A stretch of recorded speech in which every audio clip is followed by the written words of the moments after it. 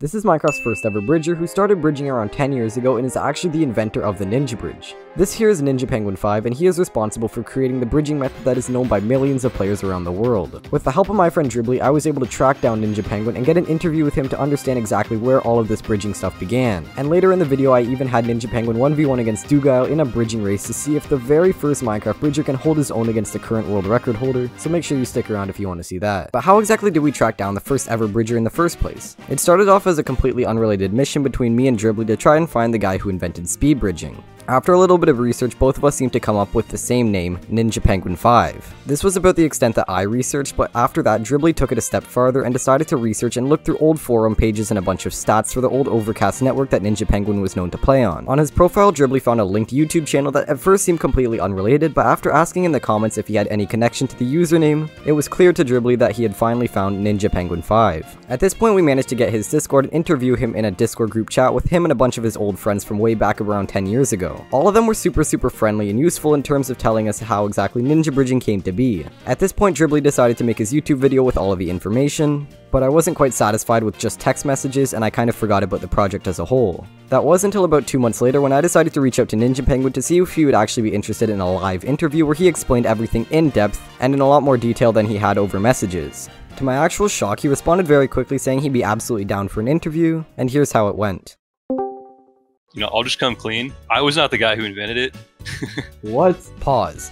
Now this was a bit of a curveball because we had thought that Ninja Penguin 5 was the actual inventor of the speed bridge, but it turns out that the base concept was made by his friend, Tropical Crayon. But to understand exactly why I ended up with the name Ninja Bridging, let's get back to the interview. Now, I know it kind of has like my name, like it's obviously called speed bridging, but I think the large like a big yeah, reason why it was called ninja bridging is just because I I guess you could say popularized it on OCN way back like 10 years ago. Because my big thing at the time was just completing the objective of whatever map as quickly as possible and so if speed's the name, then you know you're going to be bridging in these creative ways to get you know going as quickly as you can. And so the guy who originally came up with it, his name was Tropical Crown. From my interactions with Tropical, it seems that he believed that the first iteration of speed bridging was actually a form of spam clicking and shifting up and down randomly. Our first variant was actually the staircase. The reason that we went with the staircase was because in PvP, a lot of the time, if you're bridging straight across, it's really easy for people to shoot you. And if you get shot, a lot of times you fall off. But the staircase version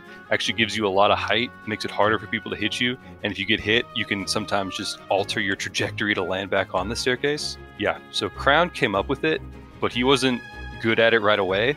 I kind of picked it up a little bit faster and so I would do it in like tournaments that were live streamed, and people kind of just saw me do it and they attached my name to it instead of him. And then, you know, the flat version would just be popularized later just because it was a little bit easier. All right, so I guess one more question is what exactly do you think about like all the modern bridging strategies and just like how far it's come in general? It blew my mind, dude. When I saw the first, like, what is speed tellying? Yeah. That blew my mind. That was like unheard of. 10 years ago, you know, if you could speed bridge, you were a god. Like now I feel like speed bridging is the standard. It's like, that's like level one, and you guys are on like level 100. So I love it. I, am really, really impressed for sure. I was just gonna say, I'm like excited to like see what you guys can do like further. And after hearing how long it had been since Ninja Penguin played, I was really curious to see if he would still be able to pull off the Ninja Bridge. And the big reason I wasn't sure if he'd be able to do it is because at the time that he quit, this was literally the best possible bridging method out there. And this would be pretty similar to asking a telly bridger 10 years from now if they're still able to do it. But Ninja Penguin surpassed all my expectations. I literally haven't done this in a decade. Yeah, no, I know. Oh, ah! okay, oh. okay. I can do it really slow. I can do like a safe speed bridge. Yeah, yeah, yeah. Oh, that's not even that slow. That's actually pretty fast. Okay, okay. Wait, I gotta go up. I gotta go up. Go, go, go. Let's go! now, I know it's a bit unfair to take the best player in the entire world and have him go up against a guy who literally hasn't played competitively in probably 6 to 10 years. But on the other hand of things, it's pretty funny, so I did it anyway. Yeah, because I was just, I was talking to Mr. Ninja Penguin over here. He said he wanted to race you. really? I think it'd be funny. I think this will be a fair fight. I think you guys are pretty, pretty Yeah, very fair. Alright, three, two, one, go!